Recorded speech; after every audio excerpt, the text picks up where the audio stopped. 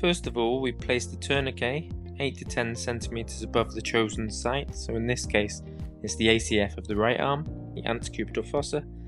We make it quite tight, ask the patient to hang their arm down by their side, and we can ask them to open and close their fist. That helps distend the veins helps fill up with blood. And we take our cannula, take the sheath off the needle, and I would take off the white Luer-Lock cap so that it's easier to put on later, or you can just loosen that cap. And then from our chosen vein, we take our 70% alcohol wipe and clean the site thoroughly.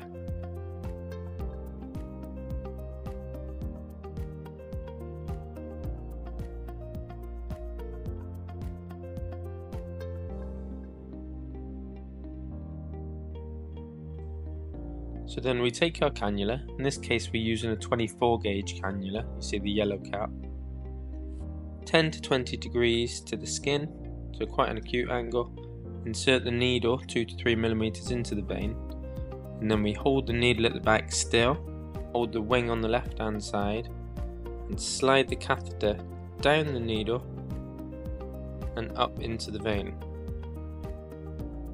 Once we've slid it all the way to the hub, we take the tourniquet off, remove the needle and screw the Luer-Lock cap on.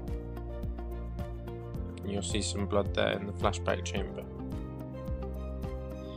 Then we flatten the wings, they haven't been flattened already. And then usually we would put some secure strips over the wings. But if you don't have those, then you just use your Tegaderm patch or equivalent.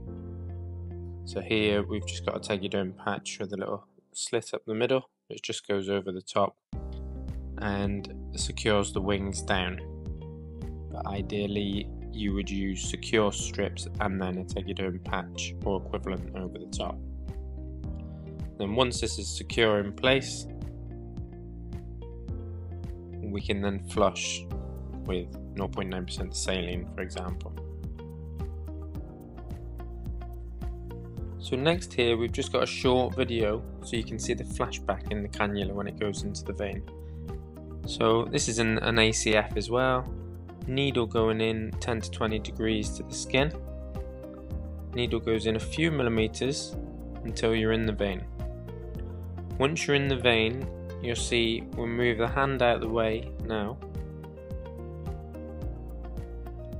and you'll see flashback in the flashback chamber at the back of the cannula. So if you look carefully, where the finger and thumb are grabbing there, see that flashback? So that's blood.